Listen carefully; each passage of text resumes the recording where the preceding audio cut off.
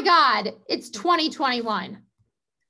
I just I have never been so glad to see, to see a new year. And I know I am not alone. Oh God. Oh my gosh.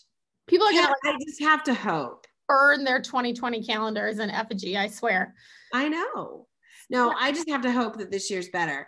I have a lot of reasons to think that it probably is not going to be a whole lot better, but I have the hope because today's, you know, it's New Year's Day. So, yeah. because it's New Year's Day, you and I agreed we were going to do two, two Two resolutions, mm-hmm. fandom resolutions. Yes, because this is the Daily Duranie after all.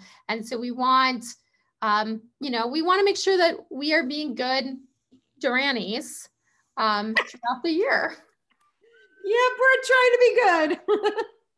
it will break that resolution probably tomorrow, but um, all right. So here are my two. I'll go first. I'll volunteer. Okay, so the first thing is that, and I've constantly said this, it's one of those things that I've said like all the time, is that we, okay, so fun fact or not so fun fact for the rest of you, that Ron and I have a calendar, which on our calendar gives us like dates that we've gone to concerts or gives us like anniversary of album release dates.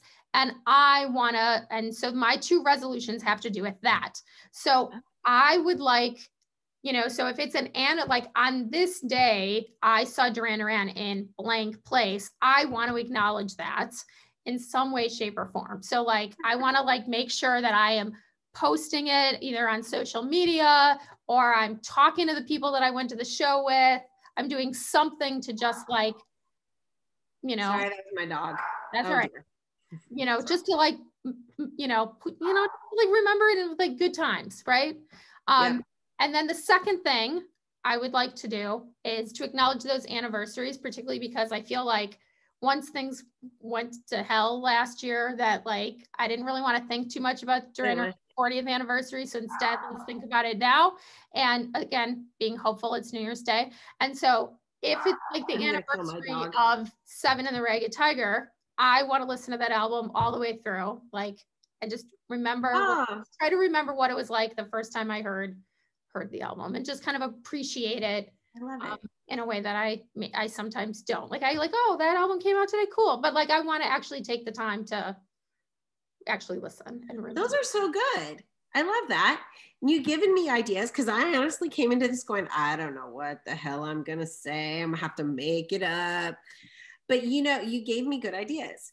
Yay. So I think the first thing is that, and I, I am embarrassed to say this because people are because because it's just i'm you know i write for the blog every day and yet i don't listen to the band anymore i um very rarely listen to duran duran music and I'll, to be fair it is not because i don't want to mm-hmm. it's because it physically hurts me to listen to it right now right um so I think one of the things I would like to get out of this year is that feeling.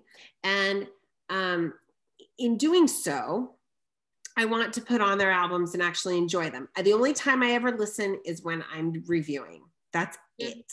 Mm-hmm. Um, and then I immediately, you know, stop listening and just try to not think about, you know, what I'm missing out on, which is crazy, but that's just me. You're it along these the same vein. Um, I have not sat down and played my clarinet since I believe the last date was August 8th. I haven't played at all.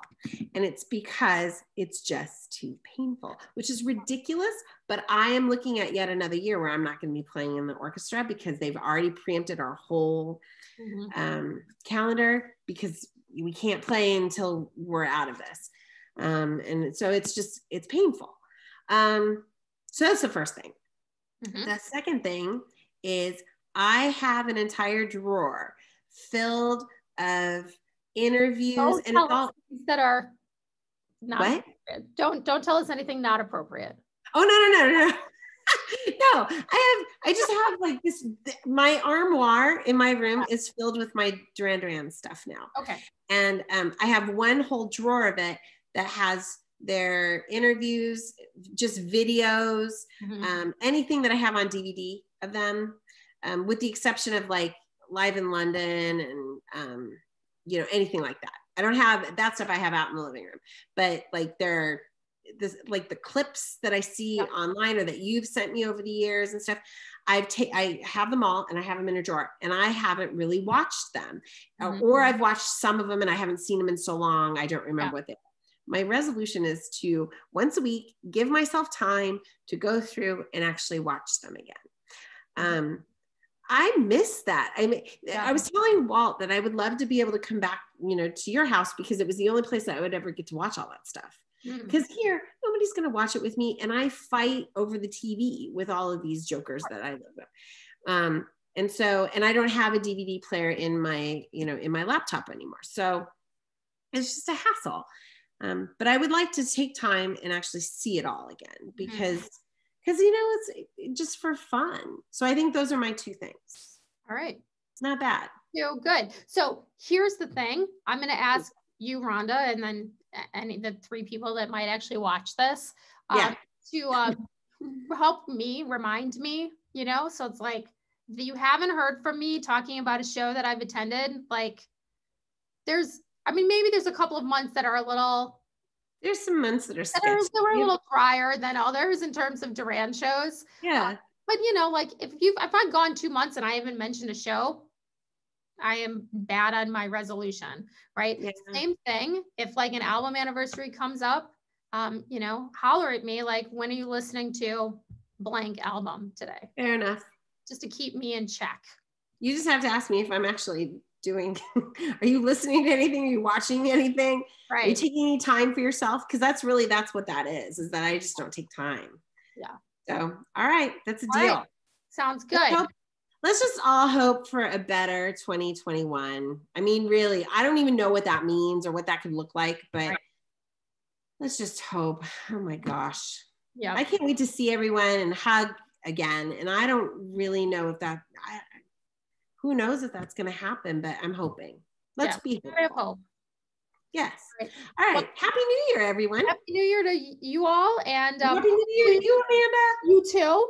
And um, hopefully everybody has shared their resolutions with us as well, so that um, you know, I'd like just like to know what other people are doing too. Yeah, totally. So, all right. All right. Bye. Bye.